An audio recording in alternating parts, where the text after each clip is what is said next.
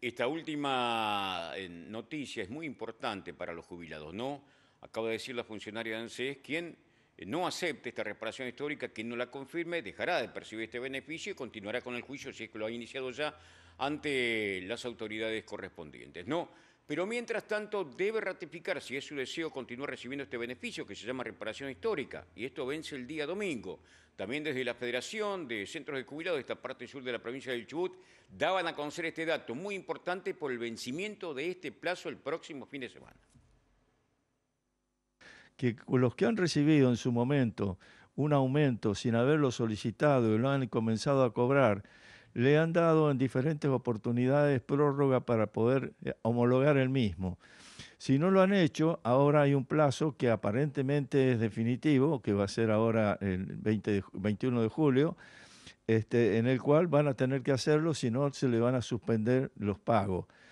Eh, van a continuar en algunos casos eh, con estudios, porque hay casos especiales que tienen que verlo, pero en general son casos en donde en la suposición con la que al aceptar ya cobrar no le van a sacar, este, están en un equívoco, porque si le van a aplicar la ley como corresponde, le van a tener que descontar eso. ¿Y de qué manera le puedes descontar si hasta llegan a fin de mes con, con lo que están cobrando?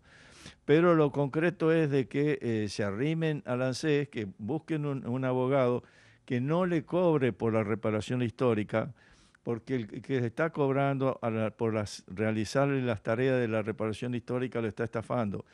El, abogado que trabaja por la reparación histórica está, recibiendo el pago por parte del ANSES, es decir, que no, tampoco no lo hace gratis. Es un trámite sencillo que en el cual se tiene que presentar con, el abogado y eh, realizar la homologación con este, poniendo los, dígitos. Lo hago sencillo para que no, no confundirlo. Así que de manera de que este, yo aconsejaría de que busquen un abogado de reparación histórica que no deben cobrarle nada, ni un centavo. me decía justamente que eh, también era importante informar de que, que se puede seguir realizando un juicio más allá de que uno reciba la reparación.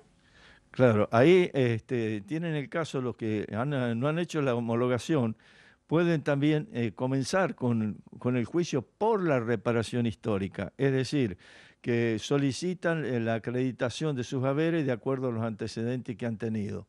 Entonces, es posible, eh, digo, es posible de que por ahí, mediante hacer el juicio al ANSES, que está permitido eso, es decir, que la misma, el mismo abogado de la reparación histórica lo puede asesorar, pueden realizar este, la, presentación esa.